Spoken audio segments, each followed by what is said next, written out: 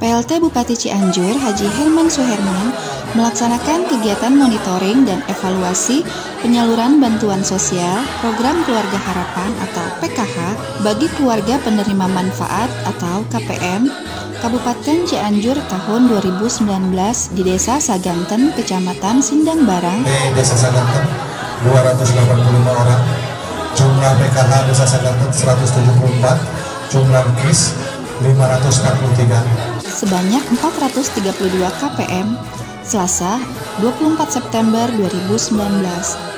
Simkoran ngetip bantosan anu dipaparin di pemerintah ngetip kedah sesuai sarang peruntukan anak.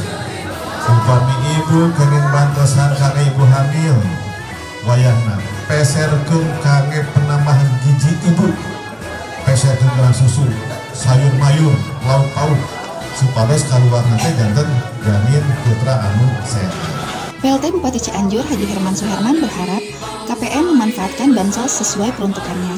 Program bantuan sosial PKH juga bantuan pangan BPNT merupakan komitmen pemerintah untuk mempercepat penanggulangan kemiskinan serta program ini harus benar-benar tepat sasaran kepada warga yang membutuhkan bantuan sosial tersebut. Diakhiri dengan penyerahan program BPNT berupa beras secara simbolis oleh PLT Bupati kepada KPM.